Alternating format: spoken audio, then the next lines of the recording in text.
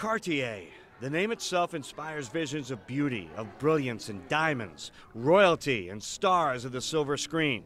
The French designer's been making signature pieces for the rich and famous for more than 150 years, and now they're here in one place for all to see. Well, I think in many ways this is the most ambitious exhibition we've ever undertaken. Um, the jewels themselves are spectacular, and there are many of them. We have over 250 objects of jewelry and decorative arts. Some of the most popular movie stars of all time also provide some of the most popular exhibits here at the Denver Art Museum. Well, everybody knows actress Elizabeth Taylor, and Shadi, she has one of the most beautiful exhibits here at the Art Museum. Tell us about that piece right there. Absolutely. Well, this was given to Elizabeth Taylor by her husband Richard Burton. It's a diamond and ruby necklace, and it was given to her while they were on vacation in Europe. Wow. Diamonds and rubies. Any idea how much uh, that thing would cost?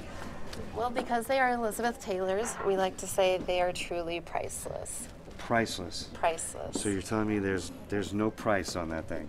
Absolutely not. Couldn't make an offer and walk out of here with it. Not Ten to, million bucks. Not no? today, no. And Grace Kelly, the Princess of Monaco, and the 10 carat engagement ring she got from Prince Rainier. Stunning to see in person, and of course, you saw it in her last movie, High Society, in 1956. I think that sort of personalizes it for people because these are figures that they can identify with in some way because they've seen them in a movie or it was someone who was important to them in, at some point in their life. And there is a men's section, which includes a Cartier piece given to former President Franklin Roosevelt during World War II a clock with five different time zones so FDR could tell what time it was in every war zone.